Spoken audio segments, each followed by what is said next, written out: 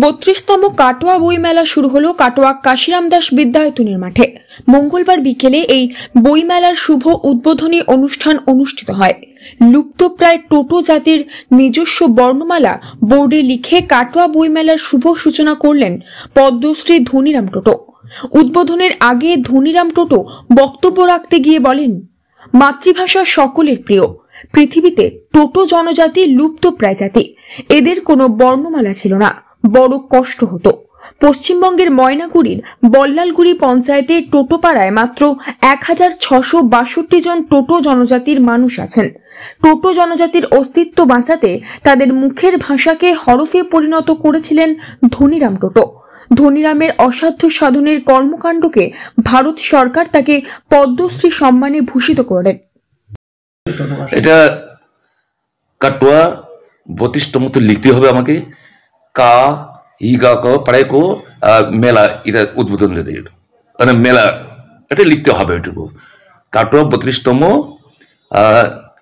কো মেলা বাস তারপরে নিচে আমার হয়তো সিগনেচার টোটো আলফাবেটই যাবে এবং টোটো পাড়ায় লিখে দেবো ওটা ইংরেজিতে ট্রান্সলেট করলে ওটা হবে এই বছর কাটোয়া বইমেলায় তেষট্টিটি বইয়ের স্টল সহ মোট আটাত্তরটি স্টল হয়েছে।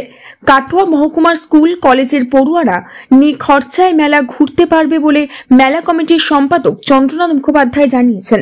কলকাতার প্রখ্যাত প্রকাশনা সংস্থা ছাড়াও দিল্লির প্রকাশকেরা এবার কাটোয়া বইমেলায় যোগ দিয়েছে। আগামী এগারোই মার্চ পর্যন্ত কাটোয়া বইমেলা চলবে বলে কর্তৃপক্ষ জানিয়েছে। কাটোয়া বইমেলা নিয়ে কাটোয়াবাসীর মধ্যে ব্যাপক উৎসাহ ও উদ্দীপনা ছিল চোখে পড়ার মতো। Bureau report, news network seven.